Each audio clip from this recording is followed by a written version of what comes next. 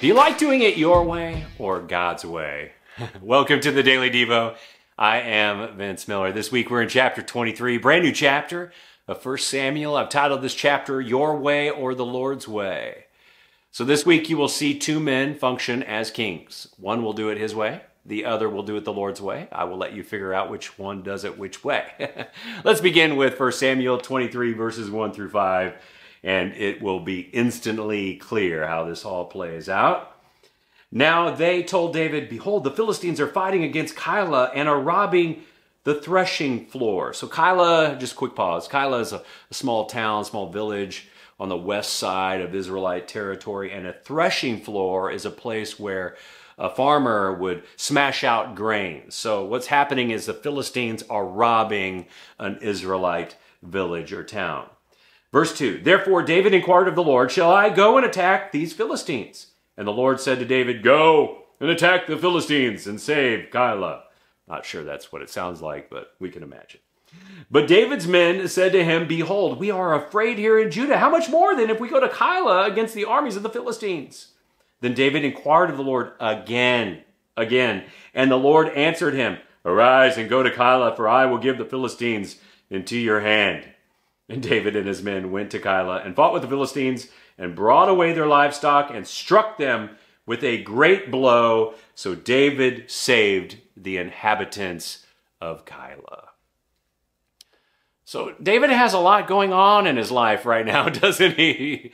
But he never quits his job or abandons his calling. He never quits his job or abandons his calling. This is a good reminder for you because sometimes you will experience seasons where there's a lot going on. This is not a time to abandon your calling. This might be the time to actually lean into it more because the enemy is working to distract and divert you, distract and divert you from the work that God wants you to do. Because the enemy loves getting you all worked up about peripheral matters so you won't worry about what actually matters. So if your life is full right now, it's full, focus on fulfilling your calling.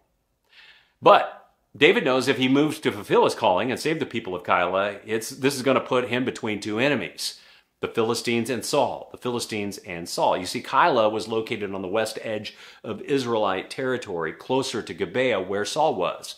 So, at this moment, David has a decision to make. But he does what a great spiritual leader will do. He inquires of God. Instead of being stubborn and seeking his own will, just doing what he wants, he submits to the Lord's will and, well, seeks what God wants to do. And you know, great leaders never let their drive, determination, and desires, their drive, determination, and desires override the will of the Lord. You know, during the running years, David never forgot that the battle and the victory were the Lord's. The battle and the victory were the Lord's. He had a calling, but that calling never overrode the fact that he believed he was to inquire of the Lord every single time. And you have to remember that too. There's a calling that God has on your life. You should live out this calling with drive and determination. But you should never let your will override the will of God's. It's the Lord who gave you this calling. the Lord has a way He wants you to steward your calling. You should heed His direction so He wins in the end and gets all the glory through you. God, today we give our callings to you. May we live it out with drive and determination, but never according to our will, but your will for your glory. Amen. I love you guys. Be blessed. We'll see you right back here again tomorrow.